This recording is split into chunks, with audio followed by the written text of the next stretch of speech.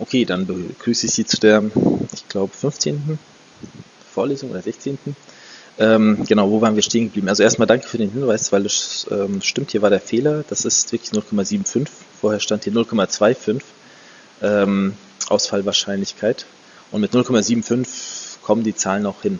Also, wo waren wir? Ne, wir haben ja besprochen, dass wir äh, mit diesen Erasure-Codes ganz gut arbeiten können und wir mit diesen Erasure-Codes indem wir erstmal aus dem Objekt k viele Symbole erzeugen, indem wir es einfach aufteilen, daraus n viele Symbole codieren und es ausreicht, k minus n viele Symbole wieder zu, nee, k Symbole wieder zu bekommen, also n minus k können ausfallen und wir können die Daten wiederherstellen. Genau, und da hatten wir das Beispiel mit diesen, ähm, genau, wie ist die Ausfallwahrscheinlichkeit bei dem einfachen Replikation? Sagen wir, wir haben die dreifache äh, Replikation, also drei Kopien. Da reicht es, wenn die Ausfallwahrscheinlichkeit hoch 3 ähm, auftritt und dann sind die Daten weg. Und beim anderen, das hier stellt da, also hier kann man berechnen, wie die Ausfallwahrscheinlichkeit ist, dass n-k, mindestens n-k äh, viele Symbole ausfallen. Und das, das tritt eben dann ein, wenn wir, das ist die Wahrscheinlichkeit, dass die Knoten noch am Leben bleiben. Und das wird hier durchiteriert von k minus j, also mindestens eins weniger soll ähm, ausfallen bis k minus k, also dass alle Knoten, die eine Kopie hatten, ausfallen. Das, das sind die und das sind die zugehörigen Gegenwahrscheinlichkeiten, dass, dass hier dieser Teil ausfällt, dieser Teil am Leben bleibt, aber immer nur so viele, dass das entweder 0 am Leben bleiben bis äh, k minus 1. Und dieser Faktor beschreibt einfach, welche der k aus den n ausfallen. Da gibt es auch verschiedene Varianten, aber das ist der, der, das Wichtige in der Summe, dass wir alle äh, Optionen, alle Wahrscheinlichkeiten aufsummieren, dass eben 0 bis k minus 1 im Netzwerk verbleiben und wir dadurch nicht ganze k haben, um das wiederherzustellen. Und mit diesem Beispiel der Ausfallwahrscheinlichkeit von 75%, was eigentlich ja schon recht hoch ist, kriegen wir entweder mit 5 Kopien eine Verfügbarkeit hin von 0, also von 76 Prozent. Oder wenn wir 999 äh, 3,9 haben wollen, dann brauchen wir 24 Kopien.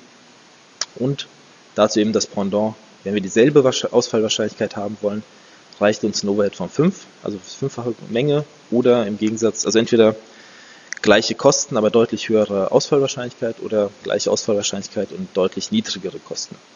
Das ist das Nette. Und dann sind wir dazu übergegangen, wie können wir überprüfen, wenn wir diese 517 Blöcke haben, von denen wir ähm, 100 wiederherstellen können wollen.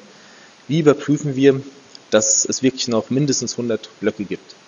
Der einfachste Ansatz, also jetzt lernen wir diese vier kennen. Ähm, Moment, da wo ist die Übersicht? Jetzt steigen wir quasi ein in äh, diese rote Achse, nee, in die, in die blaue Achse. Äh, das IGA, der IGA-Ansatz, ähm, der sieht vor, dass wir periodisch alle x Minuten alle 517 Blöcke durchgehen und schauen, ob die fehlen und jedes fehlende, äh, jeden fehlenden Block einmal austauschen.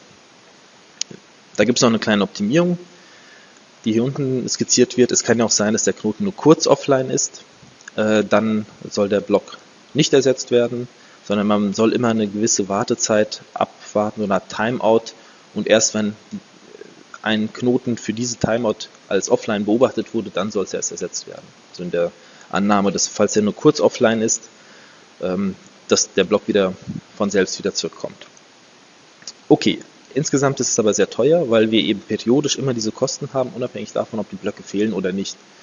Und wenn wir selbst ein sehr stabiles Netzwerk haben, wir immer wieder diese Kosten haben und es eben teuer ist für 517 Lookups und zugehörige ja, periodische Kosten. Der nächste Ansatz wäre das Lazy Main, der Lazy Maintenance Ansatz, der mit einem Art Schwellwert basiert, äh, arbeitet. Das heißt, auch hier wird periodisch geprüft, die Blöcke fehlen das heißt, es wird wieder alle 10 Minuten vielleicht geschaut, sind die 517 Blöcke da. Aber es wird nicht gleich ersetzt, sondern man wartet einfach und man prüft immer mal wieder und erst wenn dieser Schwellwert unterschritten wird, das heißt die Anzahl der verfügbaren korrekten Blöcke unter vielleicht 200 fällt, dann erst ersetzen wir alle Blöcke, die fehlen. Und es führt eben zu diesen ähm, zu diesen ähm, zu den Beobachtungen, dass es peaky ist. Das heißt, wir haben eine Weile lang nur die, den, den Beobachtungstraffic und dann fallen wir unter den Schwellwert. Dann gibt es dann viel Kosten, senkt dann wieder runter, dann, dann warten wir wieder. Und das sind dann immer so einzelne Peaks, einzelne Ausreißer in dem Traffic, die erzeugt werden. Insgesamt spart es aber dennoch Bandbreite, weil eben länger gewartet wird, ob der Knoten wieder zurückkommt. Es kann ja sein, dass er für eine längere Zeit eben offline ist, aber innerhalb einer also bevor die, die Daten noch ähm, erneuert werden, der wieder online kommt und die Daten wieder und den Block wieder beisteuern kann.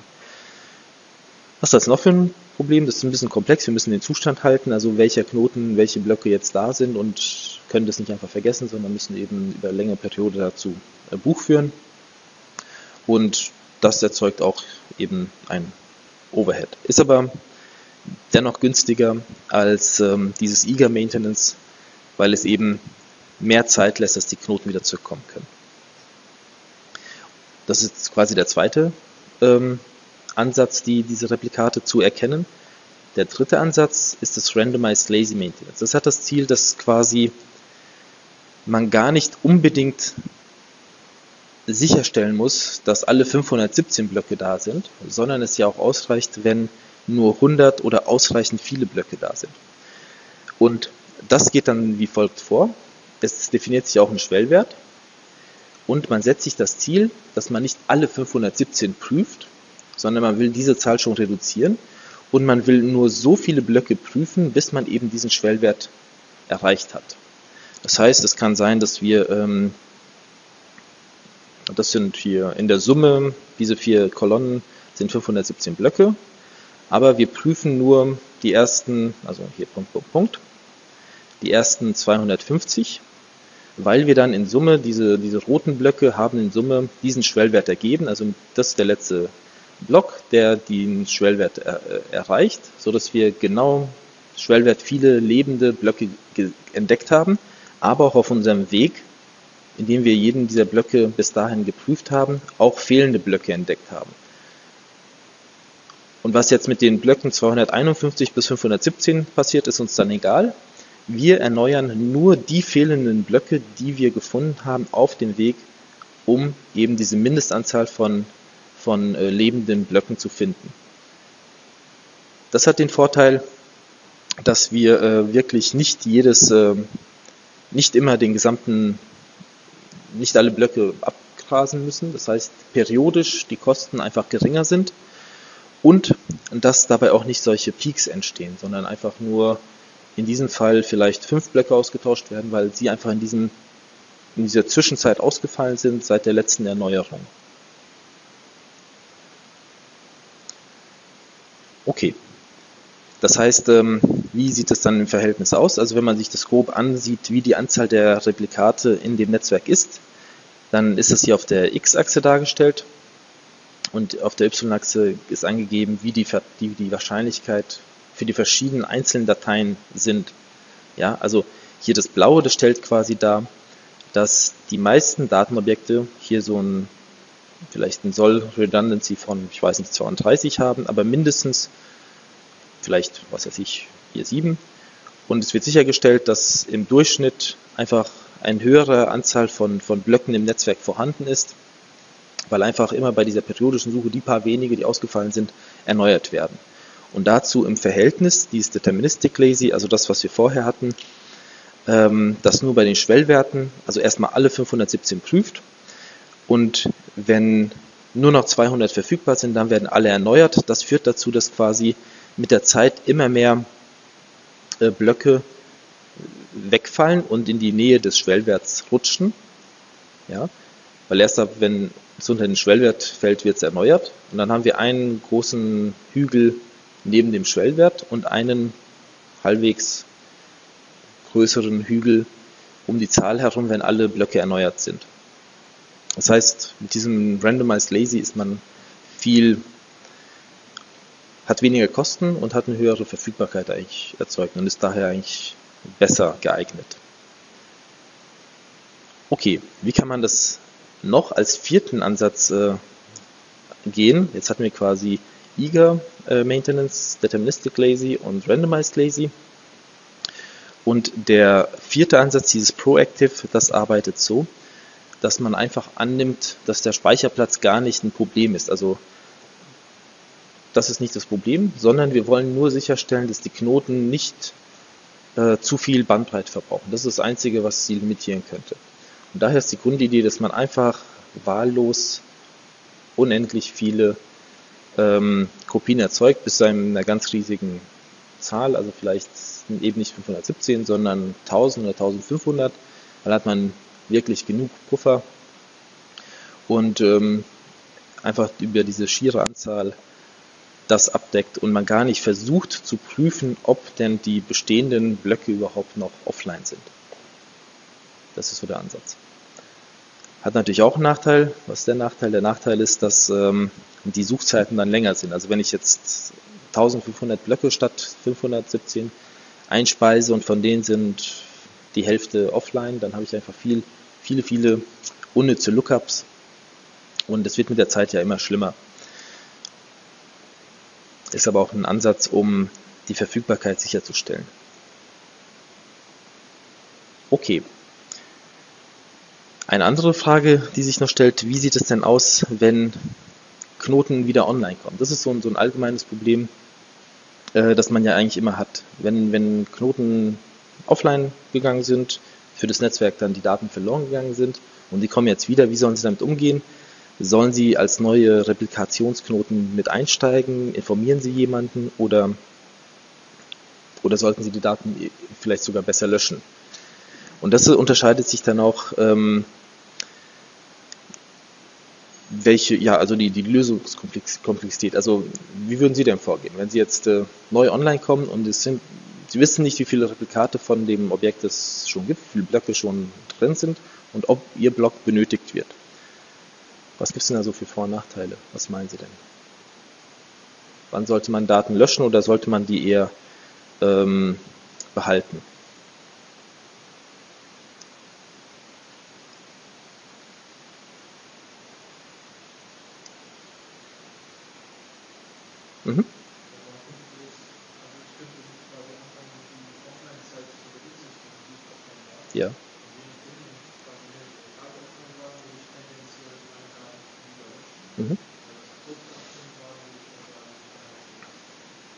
Ja.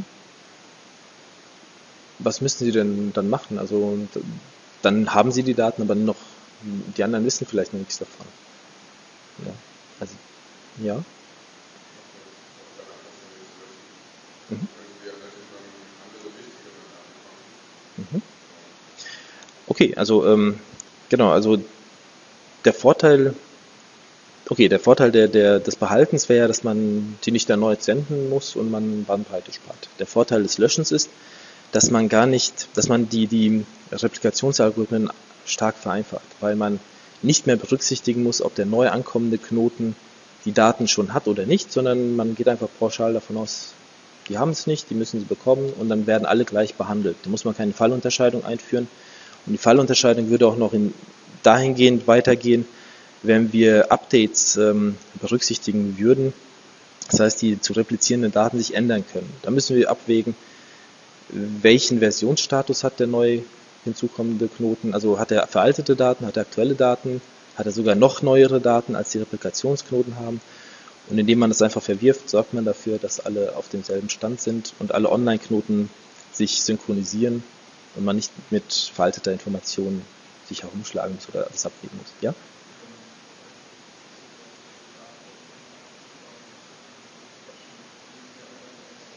Genau, also genau, man kann einfach ganz pauschal davon ausgehen, dass die Online-Knoten sich aktuell halten und ähm, sichergestellt wird, dass die Verfügbarkeit da ist und die neuen Knoten einfach als leere Speicher betrachtet werden und äh, zusätzlich helfen. Aber das Grundziel der Verfügbarkeit, dafür sollen sie keine Aufgaben haben. Genau, und also eigentlich würde ich eher dazu tendieren, beziehungsweise auch in der Literatur häufiger, dass man ähm, die Daten verwirft und sich einfach neu äh, synchronisiert, weil man vieles verpasst hat, man nicht auf dem neuesten aktuellen Stand ist, aber die Online-Knoten schon. Und man sich dann auch nicht Gedanken machen muss über Duplikate oder zu viele Replikate oder ähm, dass man sich in die bestehende Replikationsordnung einfügen muss, dass man andere informieren muss, dass man doch die Daten hat. Das, das übernehmen die dann schon und aktualisieren auch ihre Metadaten. Okay. Das ist einmal zu den ganzen theoretischen Hintergrund. Also jetzt hatten wir quasi abgedeckt ähm, diese verschiedenen Richtungen. Da hatten wir hier mit dem Keybased ähm, hatten wir die einfachen ID-basierten, also wo der Hash, äh, wo es die verschiedenen IDs gibt, die entweder Hash-basiert sind oder sich aus anderen Daten ergeben und einfach in verschiedenen Positionen gespeichert wird. Beim Selective wird es auf ähm, Knoten um die Ziel-ID herumgesetzt. Ne, das war ja mit PAST gegeben, diesem Replica-Set. Da weiß man nicht, wie die zuständigen Knoten, was die für IDs haben, ist auch egal, es ist aber nur wichtig, dass sie in der Nähe sind. Random hatten wir jetzt nicht ganz besprochen. Ähm, und dann hatten wir diese ganze Ausrichtung, also eigentlich hatten wir Replication und Erasure kurz betrachtet, als gegensätzliche Lösungsoption und auf Replication und Erasure Codes lässt sich diese Achse auch anwenden. Das heißt, das, das ist auch wahrscheinlich so ein Punkt, der relevant wird. Okay, und jetzt schauen wir uns mal an, wie sehen die Vorschläge aus, die es ähm, bisher gab, so ein Peer-to-Peer-Dateisystem ähm, aufzubauen oder Speichersystem. Und da lernen wir jetzt drei kennen. Einmal das Cooperative File System, das ist auch relevant, weil es auch von den Core-Autoren ist, als eine der ersten ähm, Lösungsverfahren. Und dann zwei Alternativen werden wir auch noch betrachten, Ivy und Ocean Store. Okay, also was ist der Hintergrund? Also auch von den Entwicklern von Cord, eins der, der ersten, hat dann als Fokus und als Einschränkung so eine Art Read-Only, also es darf nur einen Sender geben, nur einer darf schreiben, das vereinfacht halt vieles und äh, das soll hauptsächlich zum Lesen ausgelegt sein. Es werden auch hier Blöcke erzeugt, das heißt man zersplittert die Dateien in gleich große Blöcke und hat als Ziel gehabt, dass die Last auf die Knoten verteilt ist. Also das, das ist auch eine Folge dieser Aufteilung nach den Blöcken. Und wie sieht diese einfache, also wie, wie sieht diese einfache Lösung aus? Was sind da noch für Ziele? Natürlich Verfügbarkeit soll da sein. Das Szenario, in dem solche Fälle diskutiert wurden damals, sind immer so irgendwelche Katastrophenszenarien. Der Server fällt aus und die Knoten sollen selbst organisieren, das gestalten. Und ähm, das Ganze soll noch nach den Qualitäten der Knoten gebalanced sein. Die Daten sollen immer da sein, man soll auch Quotas einführen können. Man hat ja nur einen Schreibenden, also es ist nicht so kompliziert. Und das Ganze soll genauso effizient sein wie FTP. Das waren die Ziele. Wie ist der Grundgedanke? Der Grundgedanke vom Aufbau her ist, dass man erstmal Cord als darunterliegendes Overlay hat. Das ist oft der Fall, dass man nicht Cord, aber dass man einfach eine DHT annimmt, ne, auf der man on top so einen äh, verteilten Datenspeicher realisiert. Also es gibt eine Architekturebene, die sich nur um das Speichern kümmert, die die untere äh, Lookup-Funktionalität nutzt und hier oben eben ähm, all die speicherrelevanten Befehle umsetzt. Was wurde noch ergänzt?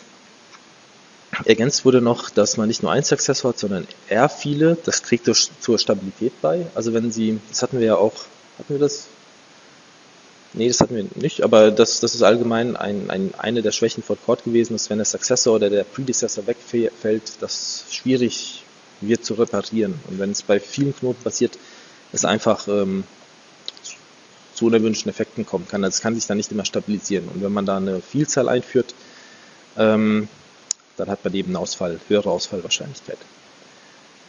Okay. Ähm, genau, was machen die, wie ist die Nutzung? Es gibt nur einen äh, Nutzer. Also es gibt verschiedene Lesende und man hat angenommen, dass diese Knoten auch längerfristig im Netzwerk, in diesem Core-Netzwerk bestehen. Okay, wie ist dann die, der Aufbau? Einmal wieder das klassische, man teilt die Datei in Blöcke auf, weil wenn ich jetzt so eine 2 Gigabyte Datei habe und teile die in 1 Megabyte Blöcke auf, dann ist alles gleich verteilt, kein Knoten ist überlastet, alle haben durchschnittlich dieselbe Last. Ähm, jede dieser Blöcke wird k mal repliziert Und wir haben jetzt zwei Arten von Blöcken. Also jetzt, jetzt geht es darum, wie man diese, äh, den Zugriff und das Auffinden von Daten realisiert. Es gibt zwei Arten von Blöcken. Einmal es gibt diese Content-Blöcke, die identifiziert werden durch die Hashes ihrer Inhalte. Das heißt, wenn ich jetzt äh, einen Blockgröße von 1 Megabyte habe, dann hashe ich das und diese einzigartige Bitfolge, die die 1 Megabyte ausmachen, findet sich unter Hash so und so. Das hat den Vorteil, das hatten wir schon mal angesprochen, wenn wir zwei Dateien haben, die zufällig denselben Block haben, in der Mitte, weil der nur aus Nullen besteht oder so, dann wird dieser Block nur einmal gespeichert und nicht zweimal. Das hat also noch ein bisschen ähm, Speichereffizienz als Folge und es hat außerdem als Folge, dass die Inhalte unter einer ID sich nicht ändern können. Das heißt, wenn ich die, die Annahme setze, dass eben unter, unter diesem Block x genau diese Datei ist, dann wird sich das niemals ändern, weil jede andere Block mit anderen Inhalten eben ein, eine andere ID erhält. Also wenn ich das hier austausche und ein Y daraus mache, weil ich die Datei editiert habe, dann ergibt es einfach einen anderen Block. Das heißt, ich muss mir nicht Gedanken dazu machen, wie ich das, die Inhalte updaten kann, ähm, was diese Content-Blöcke angeht, sondern ich kann, muss die nur einmal speichern. Und damit ich jetzt eben diesen Zusammenhang und die Bedeutung einer Datei und dieses Zusammenhängen von mehreren Blöcken zu einer Datei realisieren kann, gibt es die signierten Blöcke. Die signierten Blöcke enthalten Informationen in so einer Art Baumstruktur, die beschreiben, wie, der gesamte wie das gesamte Dateisystem aufgebaut ist. Das heißt, hm, das male ich mal ein bisschen auf. Also man hat, also hier steht, man hat einen ähm, initialen signierten Block als Einstiegspunkt, als Wurzel des Dateisystems. Ja, und in diesem Wurzeldokument, da kommen gleich noch Bilder, stehen zum Beispiel Verzeichnis IDs. Also da stehen äh, Object IDs, unter denen die verschiedenen Verzeichnisse gefunden werden können. Wenn man dazu die Blöcke aufruft, dann findet man auch wiederum IDs, die vielleicht eine Datei beschreiben. Und wenn man diese Datei aufruft, dann steht da drin, welche Blöcke gehören zu der ID äh, zu, dem, zu der Datei. Das heißt, wir haben einmal den Root-Block, wir haben einmal ein Datei, ne, wo hatten wir jetzt, das, das wären die Verzeichnisse, das wäre eine Datei und das wären, nee, sorry.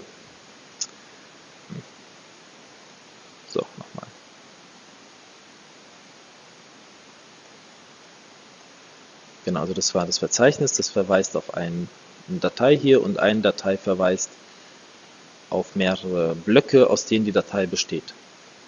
Das ist die Grundidee und so kann man auch die Blöcke, all diese Content-Blöcke kann man cachen, das macht dann nichts. Also Caching hat ja den, Nach hat ja den Vorteil, dass das kann unabhängig von dem Erzeuger geschehen, das, das kriegt niemand mit. Niemand weiß, wo die Caches entstehen und daher können beliebig viele entstehen und das ganze Netzwerk unterstützen, haben aber den Nachteil, dass, weil man eben nicht weiß, wo die Blöcke sind, man die nicht updaten kann. Aber diese Content-Blöcke, weil sie sich eben aus dem Inhalt des Blocks ergeben, die IDs, können sich nicht ändern. Das heißt, man kann die ruhig cachen. Okay. Und wie diese Caches, intern funktionieren, also man cachet sie, man kann dann festen Speicher definieren, wie viele Caches, äh, wie viele Datenblöcke man cachen möchte. Und falls dieser Speicher überläuft, dann kann man die zuletzt verwendeten wegschmeißen, also least recently used, als Wegwerfstrategie. Und Konsistenz ist nicht ein Problem, weil jede Änderung sich nicht auf der Daten-Content-Block-Ebene auswirkt, sondern nur auf dieser Pointer-Struktur. Das heißt, man muss nur diese wenigen Sign-Blocks ähm, berücksichtigen, dass die eben konsistent sind und ähm, die Content-Blocks eben nicht. Welche, ja?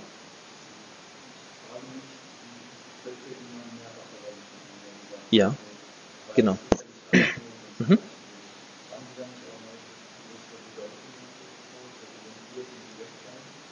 Achso.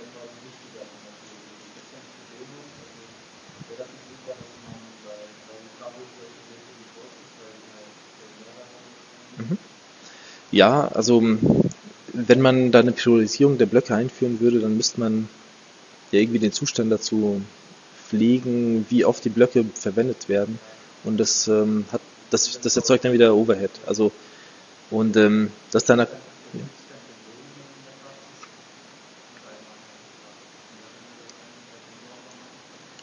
ja, aber eigentlich wird die Datei auch unten, ja, also egal welcher Block kaputt geht, genau, man, man erhöht nur die Anzahl der kaputten Dateien, die man dann erzeugen kann.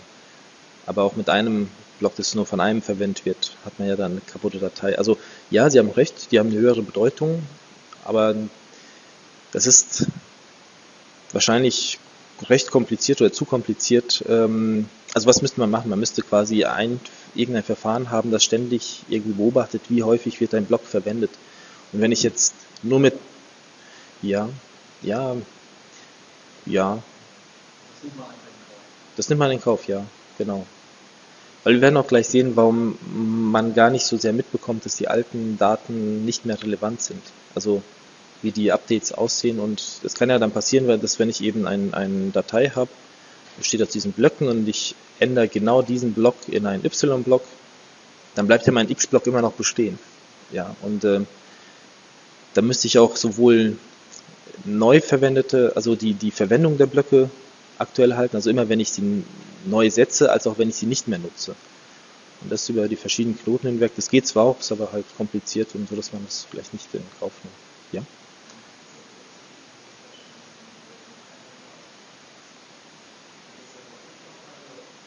Ja, das, also das Hashing der nach dem Content, das bringt schon den wirklich den schönen Vorteil, dass man sich nicht die Gedanken dazu machen muss, dass die aktualisiert werden können. Das, das wird dann häufiger gemacht. Also auch wenn sie so ein, so ein ähm, ja doch, eigentlich schon. Also weil, weil sie eben ähm, die große Datei, die sie nicht mehrfach replizieren, also die, die sie nicht updaten wollen, das können sie einfach, also sie haben dann einen Block, das sie nicht mehr updaten müssen. Und dann können sie sich darauf konzentrieren, nur die Metadaten, die recht klein sind, die sie auch mit äh, komplexer handhaben können, dass sie nur die updaten müssen.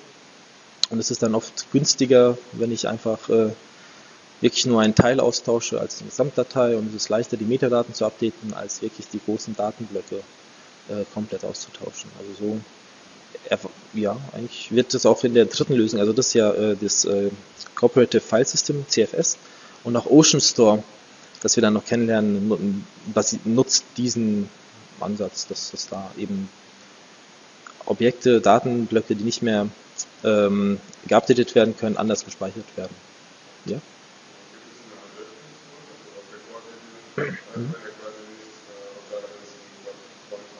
Ja. Genau, das ist eine gute Frage. Gibt es eine Löschfunktion? Eigentlich gibt es selten eine Löschfunktion. Das ist äh, eigentlich ganz interessant. Also dazu hatten wir auch mal äh, länger geforscht, weil wir das Ganze ja im Kontext von sozialen Netzwerken anwenden wollten. Da müssen wir auch Daten updaten, müssen wir die auch löschen können. Und da ist uns kaum, also da gibt es kaum Lösungen, die wirklich erzwingen, dass Daten das Netzwerk verlassen. Weil da müssen sie wirklich jede einzelne Kopie finden, auch auf Knoten, die schon offline gegangen sind und auf denen dann auch erzwingen, dass sie nicht, also ne, da hatten wir auch das, eben die Diskussion, also ähm, dass wenn die online kommen, dann könnten sie ja meinen, dass äh, sie noch eine, eine einzige rechtmäßige Kopie haben und sie stoßen jetzt die Replikation an. Das, das können Sie auch an. Also es ist wirklich kompliziert, das in den Overlays ähm, zu löschen. Da gibt es zwar auch Ansätze, aber das ist schon nicht so einfach. Und deshalb hatten die bisherigen Lösungen das oft ignoriert, weil es nicht diesen Use Case hatte. Also die hatten dann entweder falsch im Kopf oder selbst wenn man solche Dateisysteme hat, nutzt man da meist so, ein, ähm, so eine Art ähm, Krücke oder so ein, so ein Workaround, um Daten zu löschen. Das kann ich auch mal kurz skizzieren auf der nächsten Folie, wie das am besten aussieht.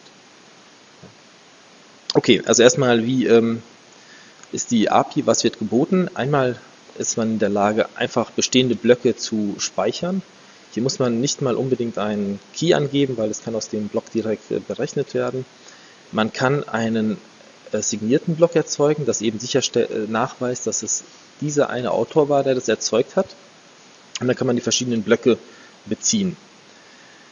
So, wie, wie ist das ganze Datei, Dateisystem aufgebaut? Man beginnt eben mit dem Wurzelknoten, dessen ID jedem Knoten bekannt ist. Also das muss bekannt sein, so der Einstiegspunkt. Und in diesem gibt es eben ähm, entweder Pointer, das wird wahrscheinlich eben so sein, also erstmal auf Verzeichnisse, wo weitere solche Blöcke mit, Verzei mit, mit äh, Pointern existieren, oder das geht dann, also wenn Sie keine Pointer haben, haben Sie dann eben eine Beschreibung, aus welchen Blöcken sie bestehen und dann sind die einzelnen Blöcke äh, gespeichert. Und so kann man eben die, die Verzeichnisse abbilden, eine Sammlung von Blöcken, also das, das wäre eine Datei und ein Verzeichnis ist eine Liste von Pointern. Und das, was man jetzt letztlich nur aktualisiert, ist, wenn man etwas in diesem Netzwerk editieren möchte, zum Beispiel möchte man eine neue Datei hinzufügen, also diese Datei soll neu sein, dann geht man so vor, dass man erstmal alle Blöcke speichert, ja, jedes einzelne dieser Blöcke ähm, wird gespeichert. Dann erzeuge ich ein Datenobjekt, das eben die Pointer auf diese Blöcke erzeugt und speichere diesen Block, also speichere diese Information. Dann erzeuge ich ein neues Datenobjekt, das den Pointer auf diese Datei enthält. Also dieses Objekt muss ich dann auch neu schreiben. Und ich erzeuge, und da es eben eine neue ID bekommen hat, weil es ein neues Verzeichnis ist, hat eine neue Information, äh, muss ich auch diesen Link hier neu, speich neu erzeugen. Also das heißt, hier muss ich meine ID, meinen Verweis auf das neue Verzeichnisobjekt, das die neue Datei enthält, äh, auch aktualisieren und ich komme bei der Wurzel an und muss meinen Wurzelknoten neu signiert speichern. Nur ich darf mit meinen mit Vorweisen des, der Signatur eben dieses Objekt bearbeiten und jeder Knoten, der einsteigt, der Daten auslesen will, kommt über die Wurzel und kann dann eben Schritt für Schritt die Verzeichnisse abrufen, die Dateien in den Verzeichnissen und dann am Ende die Blöcke, sodass die Dateien sich ergeben. Das heißt, jedes Mal, wenn ich eben eine neue Datei einfügen will oder ein neues Verzeichnis, muss ich das Objekt erstmal erzeugen, die zugehörigen Blöcke erzeugen und dann nach oben hin bis zur Wurzel alle Objekte erzeugen. Und das, was halt passieren kann, also so sieht das dann vielleicht aus.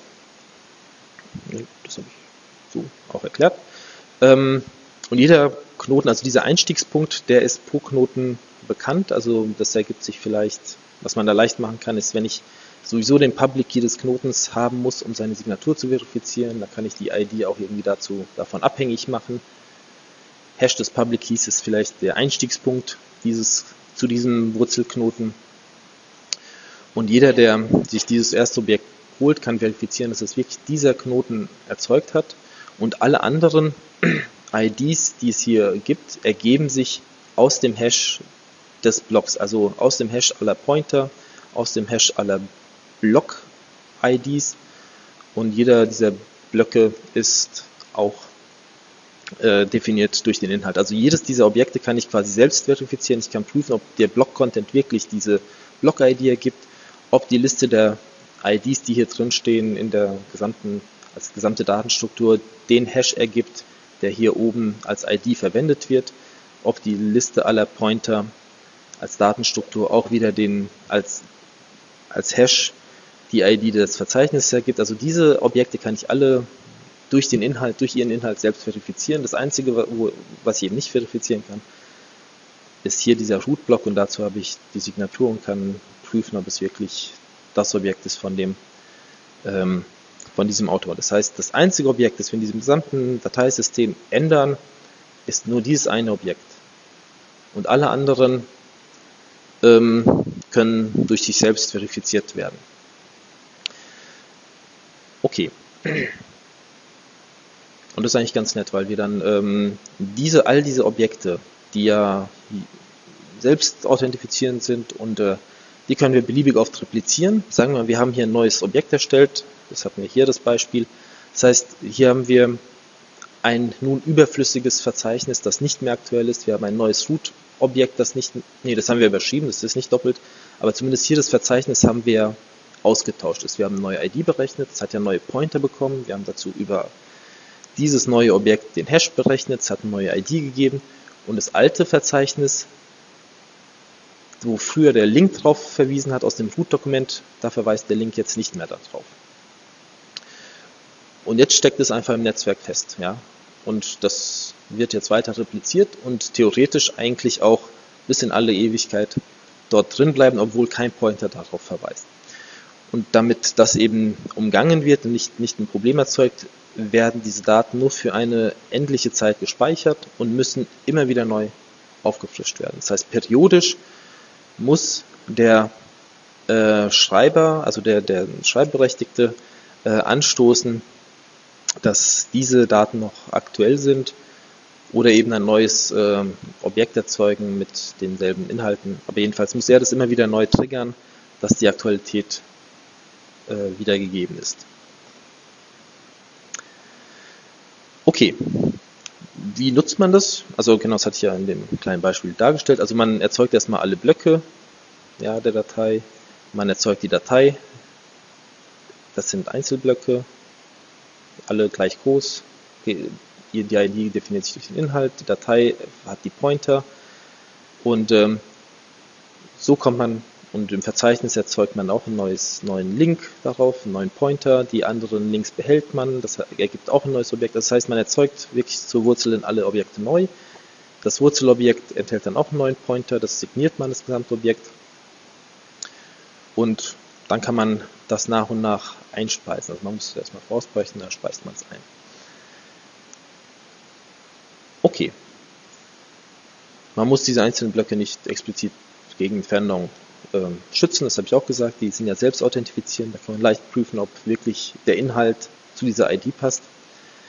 Ein Nachteil ist ja, dass alle, ähm, dass wir zwar nur einen Schreibnutzer haben, aber das erleichtert es auch. Also jeder kann dann prüfen, dass wirklich der gesamte Baum, den, der an diesem einen Root-Dokument hängt, ähm, einmal dadurch valide ist und nur von diesem einen Nutzer kam, indem sie einfach die, die Signatur prüfen. Da wissen sie, das Root-Objekt ist valide und alle anderen Objekte darunter durch ihren Inhalte auch authentifizierbar und daher ist die, die Autorenschaft auch klar. Es gibt keine Speicheroperation, sondern man lässt die Daten ausdünnen. Ähm, also man, man mit, mit der Zeit wird es vergessen. Was aber natürlich passieren kann, und das ist zum Beispiel in sozialen Netzwerken schlecht, wenn ich mir irgendwann zu einem veralteten Objekt, das jetzt gelöscht werden soll, also der, der Nutzer hat jetzt seinen Pointer auf diese Datei, auf dieses Verzeichnis gelöscht. Da sind ja alle Daten eigentlich noch drin, nur der Verweis darauf fehlt. Und wenn ich diesen Verweis mal gehabt habe, kann ich auch meine Lookups so steuern und einfach diese eigentlich nicht mehr aktuellen Verzeichnisse und Dateien immer noch beziehen, bis eben dieser Timeout auftritt. Und das ist für viele Anwendungen eben nicht sinnvoll, weil ich eventuell auch auf der Nutzerseite, auf der Client-Seite vielleicht optimieren möchte, bestehende IDs äh, vielleicht zwischenspeichere oder cache und ich dann immer noch Zugriff darauf habe, obwohl der äh, speichernde Knoten, also der, der schreibberechtigte Knoten nicht mehr diesen Zugriff erlauben möchte. Also er kann es nicht explizit löschen. Okay, das ist so, so einer der einfachen, beziehungsweise der, ja doch, der einfachen Ansätze, die eben mit diesem Pointer-System arbeiten. Das ist recht bequem. Also zwei, drei, nee, drei ähm, Hauptpunkte muss man sich bei diesem Cooperative File System mitnehmen. Erstmal die Aufteilung in Blöcke und dass die Block-IDs sich ergeben aus dem Hash des Inhalts, sodass einfach da die Bequemlichkeit gegeben ist, dass die sich selbst verifizieren. Das zweite ist, dass wir diese Pointer haben. Genau, und ähm, diese Pointer-Struktur, also alles über den Blöcken, Dateien, Verzeichnisse, Wurzelknoten, diesen Pointern arbeiten und der Einstieg eben nur für einen Knoten möglich ist und man nur die, das Root-Objekt ändern muss, beziehungsweise natürlich neue Objekte darunter anlegen muss, aber nur die Validität des Root-Objekts ist zu überprüfen. Okay, gehen wir mal zu Ivy. Das ist auch ähm, sehr interessant. Also auch hier hat man wieder eine der, der früheren Lösungen. Hier hat man auch so eine Network File System ähnliche äh, Lösung angestrebt. Ähm, genau, dass das aber mit der Änderung, dass jetzt jeder Nutzer Dateien modifizieren kann. Das ist schon ein bisschen komplizierter und indem man jede Datei modifizieren kann, äh, führt das schon zu mehr Komplexität und das wird gelöst, indem Logs gepflegt werden. Das heißt, wir haben nicht nur eine Version der Datei, sondern wir haben hauptsächlich sowas wie eine Initialversion der Datei und die Logs schreiben fest, welche Änderungen daran vorzunehmen sind, damit man auf den aktuellen Stand kommt. Und das erlaubt zum Beispiel auch ähm, konkurrierende Zugriffe. Also der Grundgedanke ist, dass, sagen wir mal, Sie haben irgendein Textdokument und Nutzer A fügt an einer bestimmten Stelle eine Zeile ein und Sie fügen an einer anderen Stelle Zeile ein, eine Zeile ein, dann ist die Reihenfolge der Änderungen, wenn man es clever macht, auch vertauschbar. Also dann spielt es keine Rolle, ob Sie zuerst die Zeile hier einfügen oder ob der Nutzer, der andere Nutzer es woanders einfügt. Die Reihenfolge, in der Sie diese Operation, diese Änderungsoperation an dem Initialobjekt ausführen, ist vertauschbar und etwas daher robuster gegen solche zeitlich gleich, also ähnlichen Änderungen. Was sind da dennoch die Herausforderungen? Also einmal dieses, ähm, dass alle die gemeinsame Datensicht haben. Wenn wir verschiedene Schreiber haben, das hatte ich ja eben aufgeführt, weil eben das Problem entstehen kann, wenn Sie wirklich zeitgleiche Änderungen haben und man braucht einen Lookup, man braucht irgendwie, man muss ja den Schreibvorgang vornehmen, man muss Nachrichten übermitteln, das braucht schon einige Sekunden und dann kann es schon gleichzeitig passieren. Okay. Was, was nicht geht, also wir haben ja schon die Aussicht gehört, da kommen die Logs ins Spiel, die das etwas ermöglichen. Alternativen wären gewesen, dass man äh, Locking macht, also dass man äh, die Datei lockt, dass man sagt, wir, ich schreibe jetzt und ich habe jetzt den Schreibzugriff, wie in Windows, ne? und dann können Sie währenddessen nicht das, die Datei äh, schließen oder anderweitig editieren, weil das ist von einem Anwender, von einer ähm, Anwendung vielleicht geblockt. Das ist natürlich nicht günstig im verteilten Netz, weil der kann dann offline gehen, der Log bleibt bestehen und niemand kann die Datei mehr ändern. Auch möchte man eine Undo-Funktion haben, äh, haben können, dass eben nicht wie beim Cooperative File System, sagen wir mal, jemand eine Datei äh, einfügt oder modifiziert. Na gut, gut, da haben wir nur einen Änder, also einen Schreibberechtigten, aber nehmen Sie mal an, Sie hätten ähm, eine Überschreibregel, also dass einfach das bestehende Objekt weggeschmissen wird und durch ein neues Objekt ersetzt wird. Dann hätten Sie ja das Problem, dass Sie vielleicht bösartige Knoten haben, die alles äh, mit äh, leeren Inhalten überschreiben und daher möchte man so diese Undo-Funktion haben, wie in Wikipedia vielleicht auch.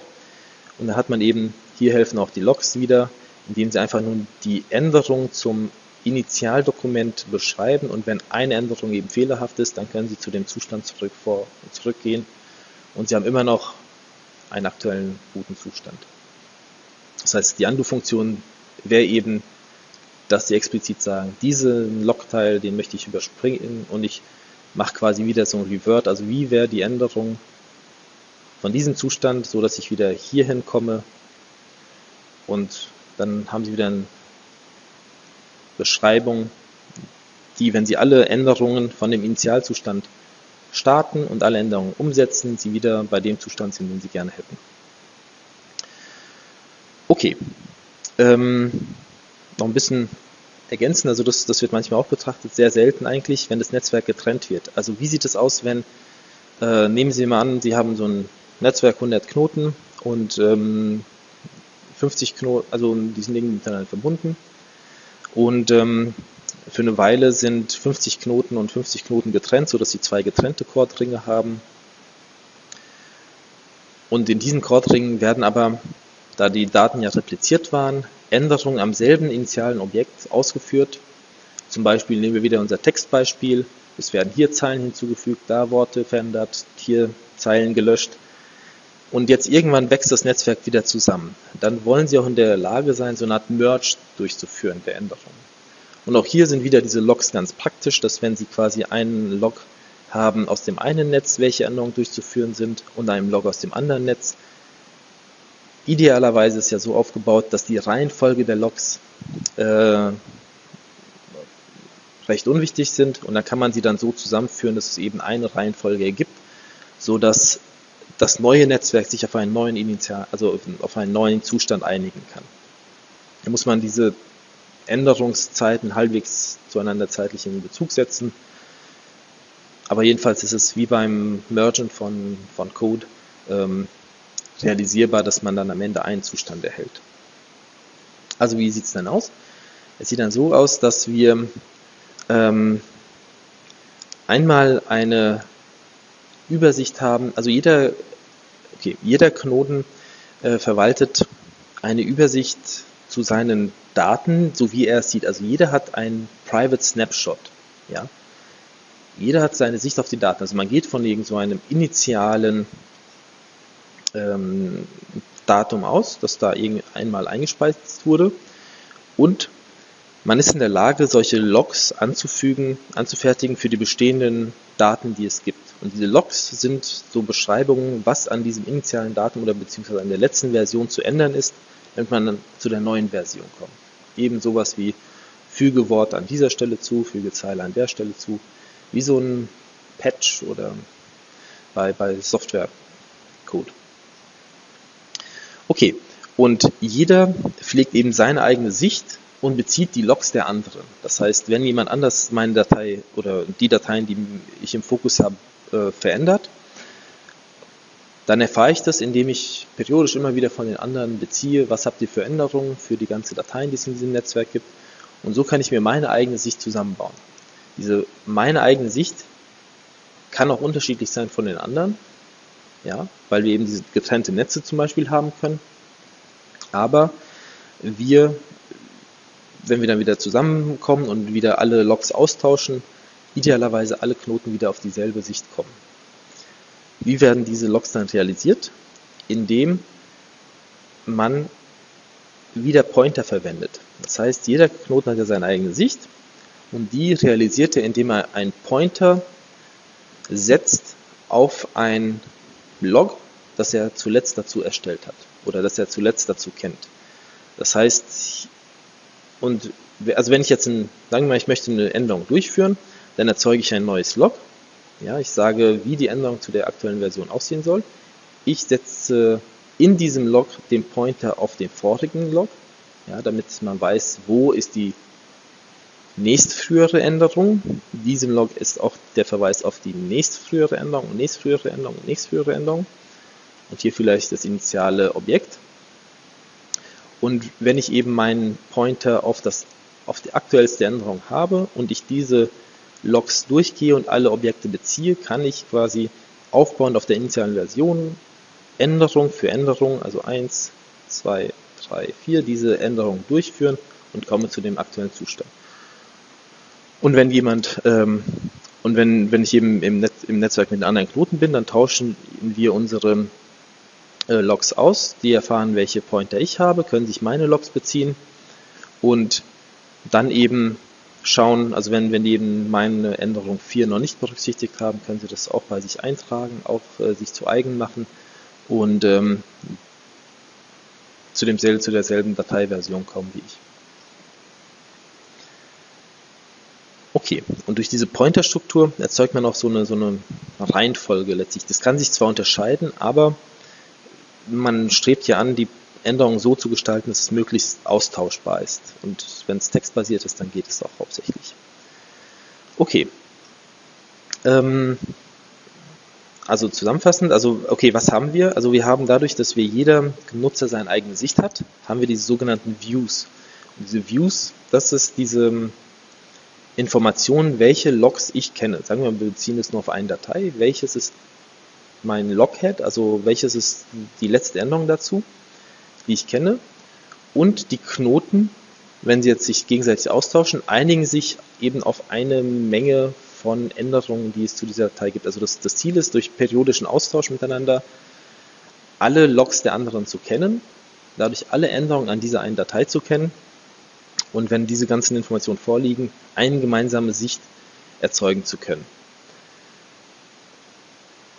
Okay, die Sicht der einzelnen äh, Knoten, also welche, die ist äh, unveränderbar, also die kann nur der eine Knoten selbst ändern, indem er dort eben immer auf den Loghead zeigt. also dieses View-Block, das definiert quasi meine Sicht auf alle Dateien, die mir relevant sind. Die kann nur ich editieren. Ich kann aber die der anderen lesen und kann die Logheads und deren aktuellen Zustand eben lesen. Jetzt kann natürlich der Nachteil entstehen, wenn ich jetzt irgendwie, sagen wir mal, das ist mein Loghead, die letzte Änderung, die mir bekannt ist und es verweist auf viele, viele Änderungen davor und es geht hier über 100 Logs, dann ist es natürlich sehr umständlich, das immer wieder aktuell aufzubereiten. Ja, da muss ich dann Log für Log ein Lookup starten, alle Logs einholen, alle Änderungen mergen und das ist dann umständlich. Dazu sind äh, sogenannte Snapshots eingeführt, die man auch kennt aus dem ähm, SVN oder aus der Versionierungs, ähm, aus dem Versionierungskontext, wo sie dann eher Tags heißen, dass man eben alle Logs, die zu einem Zeitpunkt existieren, zu einer Datei zusammenfasst. Also wir hatten ja diesen Aufbau, dann hatten wir das initiale Objekt und dann berechnet man einmal zu all diesen Änderungen und dem initialen Objekt ups, ein neues initiales Objekt, ein Snapshot zu dem Zeitpunkt x. Und das ist das neue initiale Objekt, auf das aufgebaut wird. So dass wir eben nicht eine ewig lange Historie mit uns mitschleppen, sondern periodisch immer wieder neue Snapshots erzeugen.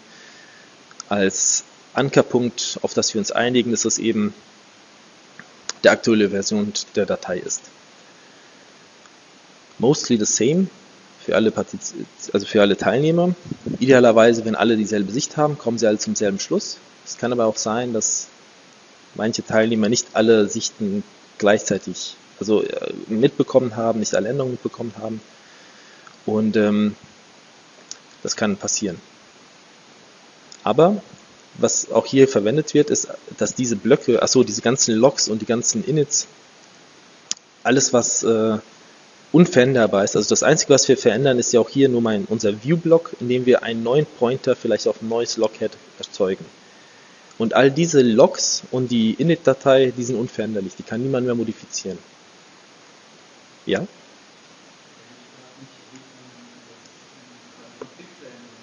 Mhm.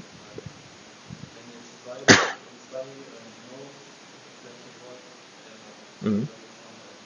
Ja, also Genau, wie, wie geht man bei Konflikten um, wenn die alle dasselbe. Genau, also nehmen wir mal an, also wir haben zwei Fälle. Entweder die Änderungsvorschriften sind wirklich von der Reihenfolge her austauschbar. Manchmal ist es aber nicht gegeben. Also auch wenn Sie irgendwie Software haben und Sie coden da und die versuchen zwei getrennte Codestücke zu mergen, dann ähm, ist die Verantwortung dann letztlich auf den Nutzer abgewälzt. Also er muss dann entscheiden, wie das Merging genau aus, also hm, genau. Genau. Ja. Das, das ist eigentlich auch hier so. Also da diese Entscheidung des automatischen Merchants, das, das geht ja nicht. Also es muss am Ende der Mensch entscheiden. Wenn ich jetzt äh, zwei Logs habe, die, wo die Reihenfolge relevant ist, dann, dann muss ich ähm, mich entweder mit dem anderen Autor austauschen oder ähm, einfach eins festlegen und das als meins definieren, aber halt riskieren, dass da halt ein Fork entsteht und das auseinanderdriftet. Aber das ist ähm, nicht durch diese Speicherlösung gedeckt. Also dieses Merging wird nicht davon abgedeckt. Okay. Ähm, genau. Also nochmal zu den Begriffen. Genau diese Snapshots fassen alles bisher gewesen zusammen und äh, alle Logs bis ähm, zu dem aktuellen Snapshot und also das erzeugt eben periodisch den, die aktuelle komplette Sicht, so dass eben neue Nutzer entweder einen Trusted Snapshot verwenden oder versuchen können, alle Logs von bisher aufzubauen, die es bisher gab. Ja? Ja. Mhm. Ja, dann, also wenn, wenn die getrennten Netzwerke unterschiedliche Snapshots erstellt haben, dann hätten wir ja theoretisch einen Fork. Sie könnten aber versuchen, ähm, genau, von, also alle bestehenden Logs in eine Reihenfolge zu bringen. Ist aber natürlich irgendwann schwierig. Also wenn, wenn die sich äh, früh getrennt haben, also die hatten einen initialen Status, dann haben sich irgendwann getrennt und dann geht es irgendwie weiter und weiter, dann sind diese ähm, Version vielleicht gar nicht mehr so zusammenführbar. Also dann muss der Mensch das machen. Also dieses Mergen, das, das ist wirklich dann auf den Menschen abgeschoben. Man kann ihm zwar alle Logs, alle Änderungen äh, anzeigen, die bisher stattgefunden haben, aber er muss entscheiden, was davon relevant ist. Also letztlich auch wie bei beim Software, äh, also beim, beim Programmieren, da muss auch irgendeiner mal entscheiden, wie man das sinnvoll mergt, sodass man eine gemeinsame Sicht erzeugt. Okay. Das steht ja auch hier, all participants should agree on the order. Das geht nicht immer. Also vor allem technisch geht es nicht immer. Manchmal geht es so halbwegs, wenn es eben textbasiert ist, wenn da nicht zu viel Änderung ist, aber ähm, allgemein braucht man da den Mensch. Ja? Genau. Also das zeitgleich, was passiert ist, kommt schon häufiger vor, aber dass auf diese zeitgleichen Änderungen viele weitere Modifikationen vorgenommen werden, das, das geschieht selten. Das ist ja bei, dem, bei der Blockchain, bei Bitcoin ja auch so. Also ich weiß nicht, ob, das, wie das, ob Sie wissen, wie das funktioniert. Da ist ja die Grundidee, äh, dass jede Änderung, also die Blockchain, die beschreibt alle Transaktionen seit Bestehen der ersten Bitcoins, ja. Und so kann auch, so werden auch Bitcoins generiert in, oder, oder die Transaktionen dokumentiert. In, also anders gesagt, also wenn Sie jetzt eine, eine Blockchain haben, da steht drin, welche Transaktionen stattgefunden haben und jede dieser Transaktionen, die da drin sind, definiert Ihnen noch einen kleinen Zahlung dafür, dass Sie ein, eine kryptografische Hash-Funktion so finden, dass eben diese ganze neuen Block, der da erzeugt wird, validiert. Und das ist halt aufwendig, das zu berechnen. Und da gibt es die vielen Miner. Und ähm, jetzt schweife ich zu sehr ab. Ähm, okay, nee, genau. Und da ist es halt so, diese ganzen Transaktionen sind in Blöcke gespeichert und jetzt ist die Frage, welcher der Miner berechnet jetzt einen Hash, um die, die neue Transaktion zu bestätigen. Und er bestätigt die Transaktion so, indem er sich noch einen kleinen Obolus draufsetzen kann und selber dadurch Geld verdient. Und jetzt kann es eben zwei Miner geben, die äh, diesen Block bestätigen. Also auch da kann es parallel zeitgleich Änderungen geben, aber eins davon setzt sich durch. Also die Frage wird sein, was nimmt die Community auf, an was wird weitergearbeitet und dann hat der hier vielleicht zwar das auch richtig berechnet, aber wenn die Community das nicht aufsetzt und es hier dann weitergeht, dann hat er Pech gehabt. Ja?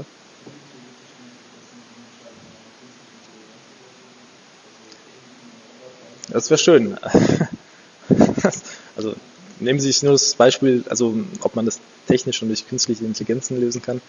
Nehmen Sie sich nur einen Wikipedia-Kommentar. Ne? Da werden ja auch die Änderungen dokumentiert. Und äh, manchmal gibt es da auch gleichzeitige Änderungen oder ähm, wer soll das entscheiden? Oder wenn Sie Code haben und Sie haben lange Zeit die Entwickler gewähren lassen und es soll automatisch gemerged werden. Ich weiß nicht, ob das überhaupt gehen kann, weil manchmal weiß der Mensch ja selbst nicht, was er will. Und wie das dann zusammen funktionieren soll, ich glaube, da ist zu viel Semantik drin. Also. Ja, das stimmt, aber ne, nehmen Sie mal wieder einen Programmiercode. Ne, da können Sie ja zwar Zeile für Zeile alles richtig einfügen, aber zusammen macht es keinen Sinn. Also manchmal muss man nicht auch. Es kommt auf die Komplexität an. Also wenn Sie kollaborativ ein Dokument editieren, dann geht es vielleicht. Dann, dann hängt es davon ab, also wenn jetzt Personen unterschiedliche Absätze editieren, das geht vielleicht noch, aber wenn zu viel Änderung stattfindet, dann, dann verfälscht vielleicht den, den, ähm, den gesamte, die gesamte Aussage. Ich habe da mal ein Paper gelesen, das, die hatten 37 Leute oder zeitweise 50 Autoren haben an einem Dokument geschrieben, wie man kollaborativ in großer Anzahl an einem Dokument schreiben kann. Das war schon ganz interessant, weil einfach äh, das nicht so automatisch geht, glaube ich, mit dem Mergen. Okay, also wir haben diese ganzen Logs, die diese Version, diese Änderungen beschreiben. Was man einfügen kann, ist Sequenznummern. Schwierig. Weil, also das kann man zwar haben, man kann sagen, das ist jetzt Version 1, 2, 3, 4, 4, 5, 5, und dann haben sie Doppelungen. Ähm, aber es zeigt schon mal, wie welche Version auf welche andere Version aufbaut. Wenn die dann aber parallel sich entwickeln, dann halt nicht mehr. Also dann kann das sein, dass das hier, ja, das, das ist dann eben nicht eindeutig. Aber es, das zeigt zumindest, was vorher war, auch wenn es getrennt ist. Okay, man kann noch ähm, Versionsvektoren haben, die eben eine Gesamtübersicht geben, über welche Logs es gibt. Und dann kann man die versuchen zu ordnen. Also was man schon hinkriegen kann, ist, dass jede Änderung weiß, welche Veränderungen es vorab berücksichtigt und das zumindest nicht Version 5, wenn ich dieses Log irgendwie finde, dass es hier vorne als Änderung eingefügt wird, sondern mindestens nach Version 3 oder 4, sodass man es abwartet. Aber wenn wir eben konkurrent oder gleich, äh, parallele Entwicklungen haben, dann kann da kein, kann das nicht berücksichtigt werden. Also da muss man es manuell mergen. Genau, also entweder wenn es zeitlich aufeinander aufbaut und die Sequenznummern steigen, dann ist es gut. Dann haben wir einen gleichen Vektor, dann, dann können wir das leicht mergen. Wenn wir aber diese Parallelen haben, dann müssen die das manuell machen. Okay, also das war der zweite Gedanke zu Ivy, dass wir nicht mit ähm, diesen reinen Pointerstrukturen, also wir haben hier auch Pointerstrukturen, aber durch diese Logs ähm, haben wir die ganze Historie der Änderung. Ja? Hm. Ja. mhm. Mhm. Ja. Mhm. Genau, also, also die Frage ist nach den Binary-Dateien und deren ähm, Änderungslogs. Genau, das ist eigentlich wie bei SVN und CVS und Git, also die werden als Binaries betrachtet, die nicht mergebar sind. Also wenn Sie eine Änderung haben, dann, dann ist es eine komplett andere Datei und dann ist jede Version komplett anders. Und dann wird vielleicht der bitweise Unterschied betrachtet, aber nicht das Inhaltliche. Also da kann man wirklich, wenn man zwei Logs hintereinander hat, dann sind es zwei getrennte Dateien und man kann es nicht zusammenführen. Okay. Genau, also was, was Sie auch noch hier mitnehmen sollen, ähm, also einmal das mit den Logs und der zweite, an, der zweite Punkt, der auch recht interessant ist, dass auch hier diese einzelnen Logs und diese initialen Dateien jeweils auch wie äh, bei ähm, CVS, also im Collaborative File System, unter ihrer Hash als einzelne individuelle Blöcke, Content-Blöcke gespeichert werden. Also die sind nicht änderbar. Jedes Log ist nicht änderbar, jeder Snapshot ist nicht änderbar. Das Einzige, was auch hier nur geändert wird, ist diese, dieser Einstiegs-View-Block, der definiert, wie die aktuellen Pointer auf die Logheads sind. Aber jede einzelne Log ist nicht änderbar. Okay, betrachten wir zum Abschluss noch Ocean Store. Das ist, hat auch einen interessanten Ansatz, weil es eben aufgreift, ähm, dass Dateien unterschiedlich behandelt werden. Also bei diesen Logs sind ja alle Daten gleich behandelt, unabhängig davon, wie, ob sie noch geupdatet werden oder nicht. Und Ocean Store unterscheidet da. Das baut auf auf Tapestry. Tapestry ist sehr ähnlich wie Pastry. Ich glaube, eine na egal, also der Hauptunterschied war, dass, glaube ich, das nicht Prefix-basiert, sondern Postfix-basiert ist, dass eben von hinten her äh, geroutet wird, aber ist eigentlich egal. Und die hatten jedenfalls die Unterteilung einmal in, in Objekte, die manipulierbar sind und Objekte, die nicht mehr manipulierbar sind. Und für beide Arten von Daten gibt es unterschiedliche Speicherkonzepte. Ähm, Was war die Vision? Das kommt vielleicht auch langfristig irgendwie. Man hat überall Geräte, ganz viel Storage Space, alles ist da selbst organisieren, die Daten schwimmen hin und her und sind allen Geräten zugänglich. Man hat ja noch keine Cloud gehabt, sondern man hat die Annahme gehabt, alle Daten sind immer noch lokal und die Daten müssen irgendwie ausgetauscht werden. so, und es gibt diese Unterscheidung, einmal modifizierbare Daten und einmal persistente Informationen, die langfristig äh, gespeichert werden sollen. Wir hatten auch das als, äh, als wirklich ähm, Produkt auf den Markt gebracht, wurde aber dann später dann abgelöst. Oder vielleicht in die Rechenzentren verschoben. Also viele dieser Konzepte, das möchte man noch betonen, es ist nicht so, dass äh, Peer-to-Peer ist dann untergegangen und taucht nie irgendwo auf, sondern es hat sich mehr in die Rechenzentren verschoben, weil einfach ähm, dort diese Szenarien relevant sind. Also dort haben sie dann 50.000 Rechner.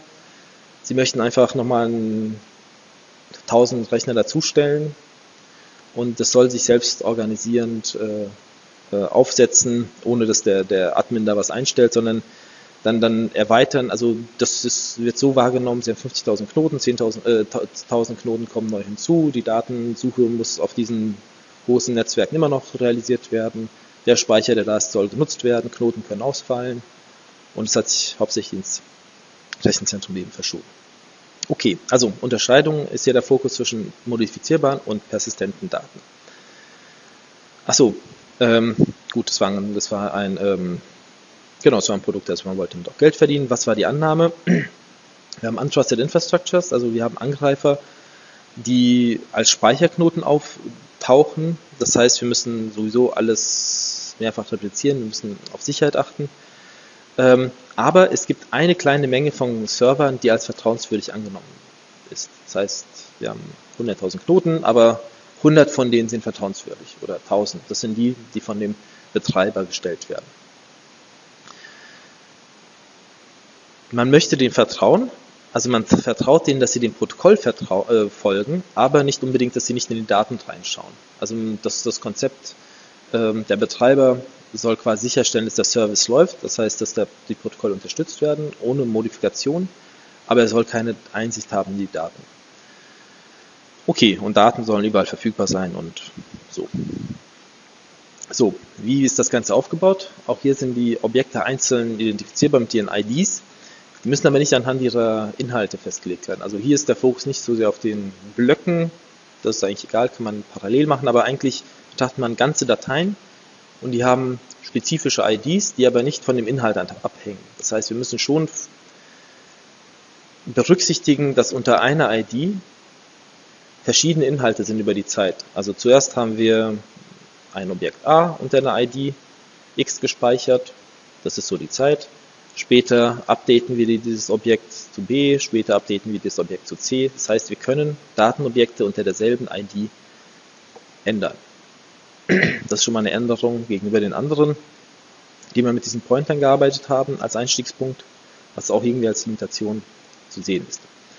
Und jetzt wird unterschieden einmal zwischen ähm, einer schnellen Replikation und einer langsamen Replikation mit dem Ziel, dass man quasi ja eben eine schnelle Antwort äh, geben kann, aber das ist nicht zuverlässig und auf der anderen Seite eine langsame Replikation, die aber zuverlässig ist. Und es gibt auch zwei Arten von Objekten. Es gibt einmal die, die ähm, aktiv sind, das heißt, die können sich noch ändern. Und es gibt die zu archivierenden, die ändern sich nie wieder. Das heißt, da muss man gar nicht unterstützen, ähm, dass die schnell verfügbar sind. Nee, sorry. Dass die äh, gesch neu geschrieben werden können, sondern es ist mehr so write once, read many und das ist ähm, write many, read many. Ja, heißt es so? From, ja, read only. Ja, egal. Also ähm, das ist der Unterschied. Und da die eben unterschiedliche Zielsetzungen haben, kann man auch unterschiedlich optimieren. Haben Sie zum Beispiel eine Idee, naja, doch, steht schon da. Sorry. Also, diese, wir haben ja kennengelernt, dass die Erasure-Codes sehr gut dazu geeignet sind, mit wenig Aufwand eine hohe Verfügbarkeit zu gewährleisten. Ja? Dazu erzeugen wir diese vielen Blöcke, 517 Blöcke, 200 Blöcke müssen wiederhergestellt werden. Dafür sind sie sehr gut geeignet. Das heißt, für Archivierung sind sie sehr gut. Aber nicht für Updates. Also wenn ich jetzt so einen Dat einen Datensatz updaten müsste, diese 517 Blöcke, da muss ich sehr, sehr viele Blöcke dann wirklich neu schreiben und das dauert sehr lange und das wäre nicht günstig. Auf der anderen Seite haben wir gesehen, dass dieses, diese einfachen Replikationsverfahren, wie PASS zum Beispiel, wo die Daten in der Nähe sind, der ID, die sind zwar teuer, weil sie einfach eine geringere Verfügbarkeit liefern für diese Kosten, die sie erzeugen, aber das geht sehr schnell. Also da muss ich nur vielleicht fünf Objekte updaten, fünfmal die Datei schreiben, statt 517 mal. Okay. Wie, wie, also ein Punkt war ja, dass die Objekte ähm, andere unabhängige IDs haben von ihren Inhalten. Also ein Objekt kann langfristig mehrere Inhalte haben, aber immer noch unter derselben ID verfügbar sein. Also wir können es ändern. Und das ergibt sich aus zwei Punkten. Einmal, wer ist der Besitzer und irgendwie, was das für eine Datei ist. Also, dass man zum Beispiel sagt, ähm, dass man irgendwie so Public Key ansetzt und Unterstrich äh, My Root Directory oder so. Ja, und das Ganze kann man dann hashen und jeder Knoten, der bestimmte Verzeichnisnamen kennt, der kann die dann direkt anspringen. Der kann sich dann seinen zugehörigen oder die zugehörige ID generieren, die zu seiner Anfrage passt. Zum Beispiel, wenn ich weiß, alle Nutzer haben ein Verzeichnis namens Profiles oder Fotos oder Public Information oder so, dann kann ich ja zu jedem Knoten, dessen Public Key ich kenne, diese ID generieren und das Objekt abrufen. Und da kann ich schauen, was ist darunter gerade aktuell. Vielleicht hat er, also da steht immer, wenn, ja, das ist gut. So. Also dadurch, dass ich mir eben diese IDs immer generieren kann, kann ich da viel mehr Einstiegspunkte definieren. Diese Einstiegspunkte hatten wir auch vorher bei diesen Logs und auch bei dem Collaborative File System. Das war das Root ähm, Element, das man kennen muss. Und hier kann ich halt ganz beliebig viele haben. Ich muss nur die irgendeine Regel haben, wie diese IDs erzeugt werden. Kann ich Verzeichnisnamen darlegen, ich kann bestimmte Buzzwords darlegen, die jeder haben muss. Dadurch gibt es auch kein Root-Element, sondern man kann sich beliebig viele definieren. Und so ein ähnliches Konzept hatten wir auch bei uns in dem für Libre Social, also ein soziales Netzwerk verwendet. Da gibt es auch sehr ähnlich gestaltete Datei äh, oder ID-Namen, die einfach Profile, Fotos, E-Mail oder sowas enthalten. Da gibt es unter diesem Object-ID immer das Aktuelle, was man dazu sucht. Auch hier ist es so, dass man die, die, die äh, Sicherheit im Fokus hatte. Alle Daten sind verschlüsselt. Man regelt den Zugriff auf die Daten über die Gewährung des Schlüssels, des Leseschlüssels. Und ähm, das kann der, der, der Schreibberechtigte vorab verteilen. Der kann entscheiden, welche Nutzer die Daten äh, lesen können sollen, ihnen die Schlüssel zu den verschiedenen Daten, wo sie zugriffsberechtigt sind, schicken oder irgendwie auch verschlüsselt hinterlegen. Und wenn ich eine Zugriffsberechtigung entziehen will, dann muss ich halt alles neu verschlüsseln, die Schlüssel neu verteilen. Aber das funktioniert ganz gut. Beim Schreiben wird ein Access Control List verwendet. Vielleicht steige ich gar nicht so sehr in die Sicherheit ein, aber da ist die Grundidee, dass jeder speichernde Knoten weiß, wer darf denn ähm, unter diesem Schlüssel speichern. Also wenn ich sage, unter diesem Schlüssel möchte ich was speichern, unter diesem Key, kann ich ja nachweisen, dass ich es aus diesen Werten hier erzeugt habe und dass ich auch wirklich der, den Public Key habe oder den Private Key und nur der ich darf dann schreiben. Also es lässt sich dann mit dem Zugriff auf die Schlüssel recht bequem realisieren. Die Frage ist aber, wie wird jetzt gespeichert? Wir haben ja zwei ähm, Arten der Speicherung. Einmal äh, geht es um die schnelle Speicherung von Inhalten so dass wir Daten eben mit wenigen Hops erreichen können. Und dazu wird, wird ein probabilistisches Verfahren verwendet mit Multilevel Bloom-Filters. Die Bloom-Filter hatten wir schon mal an, hatten wir, also ich habe die Folien hier rausgenommen, weil das hatten wir schon mit dem Bloom-Filter. Da war ja der Grundgedanke, dass sie zu allen ihren Dateien, die sie haben, diese in einen Bloom-Filter einspeisen und dann quasi ähm, eine gewisse Bitfolge dann er, erreichen äh, zu den Dateien, die sie anbieten.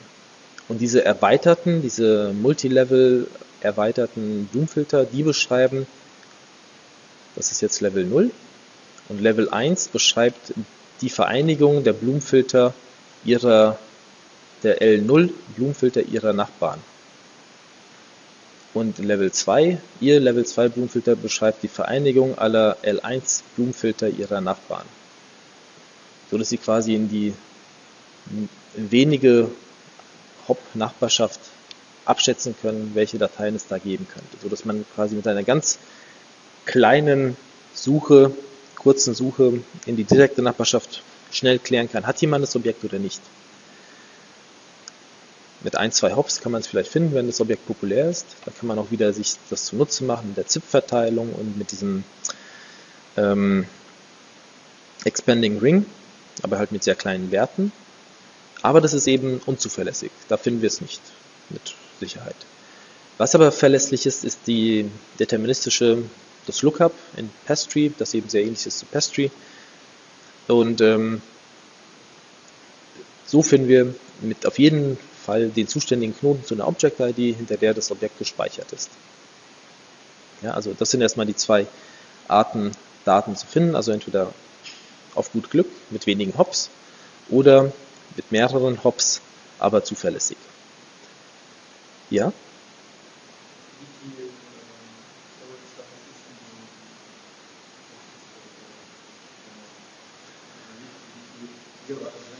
Mhm.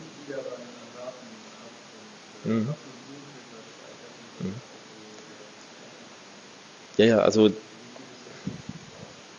das Ganze ist ja von 2004, also da ähm, war es nicht so viel so groß. Also ähm, es ist aber auch, also die Frage nach der Datengröße ist aber auch, also eigentlich ist relevant, wie viele Datei, wie die Dateianzahl ist, also unabhängig von ihrer Größe. Und man kann auch die Blumenfilter ja erweitern, damit der Anzahl der Bits, die da zur Verfügung stehen. Also theoretisch können Sie das ja noch aufblähen. Und ähm,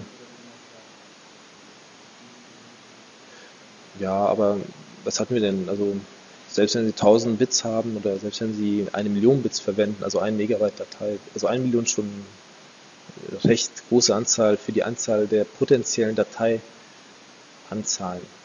Also wie viele Dateien haben Sie so auf Ihrem Rechner? Was weiß ich, 200.000 Millionen oder so? Hm. Also ist schon sehr viel. Also normalerweise 1000 vielleicht Dateien ist auch vielleicht viel. Also die kommen schon in, in einem Megabyte gut unter. Und das also normalerweise würde man das da so vorgehen, dass der Betreiber dann irgendwelche Messungen hat, wie viele Dateien werden im Durchschnitt ge geshared, wie muss der Blumenfilter gewählt werden, um eine gewisse False Positives Rate nicht zu überschreiten und das kann man ja adaptiv machen. Okay, also einmal diese zwei Speicherarten. Das eine ist nur ergänzend, also das Probabilistic, das ist nur nice to have, um mit wenigen Hops das zu erreichen. Das also Verlässliche ist der deterministische Algorithmus mit Tapestry, wo einfach ein Lookup erzeugt wird zum zuständigen Knoten. Und spannend ist es, wie ähm, Änderungen vollzogen werden. Also einmal, wenn wir jetzt ähm, Änderungen haben, also wenn wir jetzt eine Änderung äh, vornehmen, dann ist es auch hier so gestaltet wie in, ähm, wie in Ivy, dass wir auch hier eine Liste von ähm, Aktionen haben, die wir auf der bestehenden Daten definieren können, aber auch eine Liste von Vorbedingungen, wann diese Aktionen zutreffen sollen. Das ist schon ein bisschen cleverer als ein Log, das einfach sagt, hier soll eine Zeile eingefügt werden. Da kann man zum Beispiel diese Prädikate äh, so einsetzen, dass man sagt, ähm, die, Version, die Vorversion, auf die ich die Aktion durchführen möchte, soll die Sequenznummer x haben, so dass ich genau weiß, äh, dass, dass wir uns auf dasselbe Objekt beziehen. Oder die Vorbedingung ist, dass an dieser Stelle soll keine Änderung in den letzten äh, Aktionen durchgeführt worden sein. Also man kann da wirklich prüfen, sind die Vorbedingungen erfüllt und erst dann wird die Aktion erfüllt, äh, umgesetzt. Ähm, und falls das eben äh, valide ist, dann wird es so Wort oder Atom, Atomic applied, also umgesetzt. Das atomisch, äh, Atomic, das bedeutet, entweder wird die Änderung komplett durchgeführt oder gar nicht. Also es ist nicht so, dass ich ähm, nur einen Teil der Änderung durchführe und dann bleibt es in einem undefinierten Zustand, sondern entweder komplett oder gar nicht.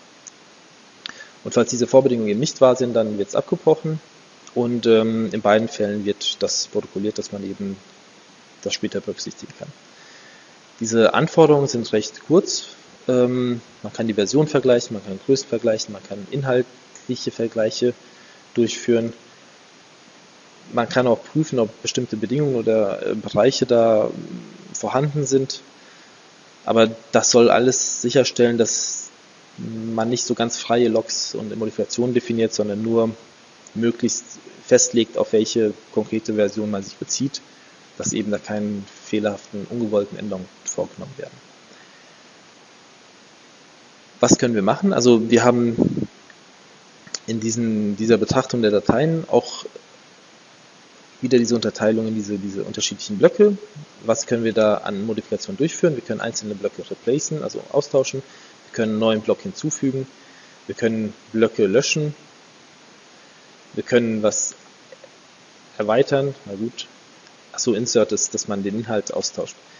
Ähm, das Ganze hat den Hintergrund, dass wir auch ja, verschlüsselte Dateien haben und wir und diese, diese, diese Modifikationen sind darauf ausgerichtet, dass eben hier blockweise verschlüsselt wird. Daher kann man ein neues Objekt, also einen neuen Block im verschlüsselten Teil einfach hinzufügen. Man kann auch leicht äh, einen Block austauschen. Also das, das hat einfach nur diese, Unterteilung nach, also dass man unterstützt, dass die Daten eigentlich verschlüsselt vorliegen. Weil letztlich diese Objekte können ja überall gespeichert werden. Ne, darauf hat der Speichernde ja erstmal keinen Einfluss. Es wird ja auch gecached. Aber ähm, dass die Operationen darauf auch in verschlüsselter Form durchgeführt werden können. Okay, auch hier ist die Unterscheidung nach Indexblöcken mit Pointers und Datenblöcken. Ähm, das sieht erstmal noch alles recht ähnlich aus, also so, dass wir komplexe Datenstrukturen und Verzeichnisräume und so aufbauen können. Das Interessante ist, wie die Replikate und die Änderungen durchgeführt werden. Da gibt es zwei, zwei Schritte und hier kommen diese vertrauenswürdigen Knoten dann ins Spiel. Wir haben ja einmal dieses Tapestry Network, wo auch die Knoten bösartig sein können und wo wir eben nicht wissen, ob sie die Änderung richtig durchführen. Und daher wird, und wir haben auf der anderen Seite eine Menge von äh, Trusted Peers, die untereinander vielleicht verbunden sind und wir haben hier das große Netzwerk. Das heißt, der Primary Tier, also die, die primäre Ebene, äh, ist, sind die vertrauenswürdigen Knoten und äh, der Secondary Tier, das sind alle anderen, also alle, von denen wir nichts wissen. Und jetzt wird zur Durchsetzung des Replikas, also eine Änderung können wir zwar beschließen, aber die Änderung wird nur dann umgesetzt, wenn das auch repliziert wird. Also es reicht ja nicht, dass nur wir das haben und wir das ändern wollen, sondern das Netzwerk muss diese Änderung akzeptieren. Und daher gibt es diese Unterscheidung. Einmal müssen wir die ähm, die vertrauenswürdigen Knoten überzeugen und sobald die überzeugt sind, gibt es einen epidemischen, also so, ein, so eine Art ähm, Flooding-Algorithmus, der diese Änderungen hier in diesem ähm, unzuverlässigen Netzwerk, in dem Tapestry-Netzwerk umsetzt. Was ist der, der Hintergrund? Der Hintergrund ist, dass diese Knoten eben vertrauenswürdig sind und die die Validität der Änderungen wirklich prüfen können und nur sie veranlassen bzw. bestätigen, dass äh, Dokumente auch langfristig gespeichert oder archiviert werden können. Dazu sind die sehr gut verbunden. Sie können schnell eine Entscheidung treffen. Hier arbeiten, also wir kommen jetzt gleich, wie die die Entscheidung treffen. Da spielt jetzt dies mit dem byzantinischen Agreement eine Rolle. Aber jedenfalls sind die vertrauenswürdig, die können untereinander abstimmen und entscheiden, ja, diese Änderung ist valide. Die sind klein, klein Netz, klein, kleines Netzwerk, die sind nicht mit Speichern belastet, sondern müssen nur entscheiden. Und die, das große Netzwerk mit unvertrauenswürdigen Knoten, das muss dann speichern. Ich springe jetzt erstmal, bevor ich sage, wie die sich entscheiden, springe ich erstmal hierher. Nehmen wir mal so an, also wir wollen ein, wir sind ein unzuverlässiger Knoten, wir sind kein, wie die meisten Knoten auch. Und nun wollen wir eine Änderung durchführen dann veranlassen wir erstmal, informieren wir den, den vertrauenswürdigen Kreis der Knoten ja, und sagen denen, also wir sind hier in Knoten da drin, und sagen, das ist unser Änderungswunsch und beginnen schon in diesem unteren Netzwerk ähm, die Replikate zu streuen und aufzusetzen. Die sind aber noch nicht akzeptiert. Sobald die oben beschlossen haben, ja, das ist ein valider, eine valide Änderung, ähm, bestätigen Sie das und erst dann wird quasi unten freigeschaltet, dass diese Replikation valide ist und hier verteilt sich das dann in so eine Art Flooding-Ansatz und die Replikation findet statt. Das ist nicht genau, muss nicht exakt definiert sein, wie diese Replikation stattfindet, aber das Wichtige ist, dass erst dadurch das bestätigt wird. Und eben erst wenn dieses Agreement da ist, wird über so Multicast-Tree, dass nur die zielgerichteten Replikaknoten adressiert werden der, werden die Knoten informiert. Die Frage ist, wie entscheiden die sich? Und da spielt dieses byzantinische Abkommen oder die, die Entscheidung eine Rolle. Kennen Sie das? Byzantin, byzantinische, nee? Oh, Historie, ne? Nee, das ist immer, das manchmal hat man ja in der Informatik so Bezüge auf irgendetwas, auf Biologi biologische oder literarische Aspekte. Und da gab es eben dieses byzantinische ähm, Szenario. Da hatten die byzantinischen Generäle die irgendeine Stadt um, umkreist und mussten, konnten aber nur individuell miteinander kommunizieren, mit Booten, ja, also es gab keinen Broadcast oder so. Sondern, also die hatten nur eins individuelle Boten und die mussten sicher gehen, dass die Mehrheit, dass sie eine Mehrheitsentscheidung äh, finden. Und jeder hatte seine individuelle Sicht und es kann auch Verräter geben, ja. Und diese byzantinischen Agreements, die gewährleisten uns, dass wenn es eine Mindestanzahl, ähm, und zwar maximal ein Drittel, ähm,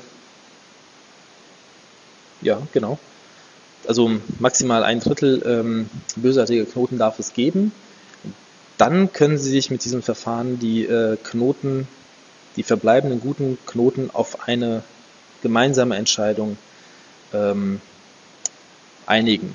Also die typischen Ansätze sind also sowas, dass man binäre Option hat, ja oder nein, und die können nur individuell miteinander kommunizieren und müssen versuchen abzuleiten, äh, was ist denn die Gesamtmeinung.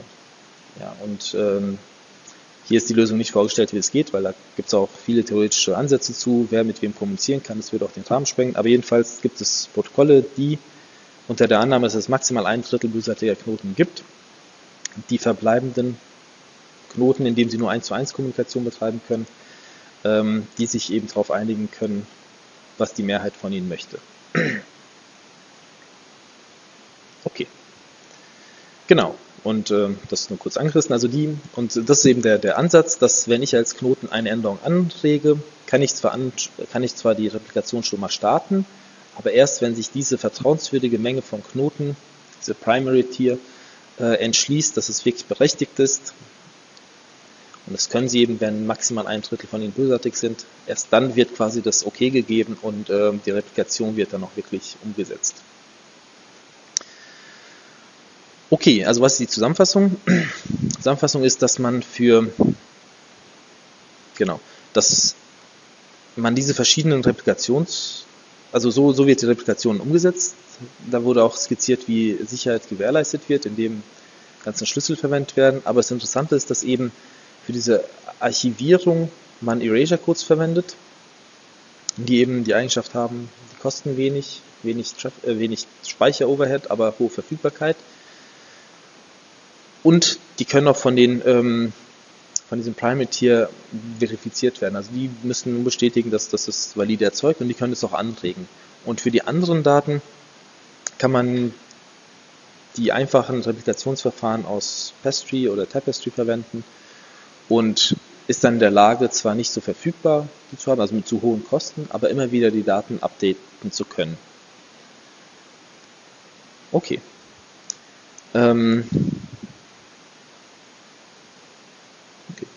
das, das war es dann eigentlich schon zu der ganzen Übersicht äh, zu den Speicherverfahren. Wir sind jetzt eigentlich auch von der Zeit durch.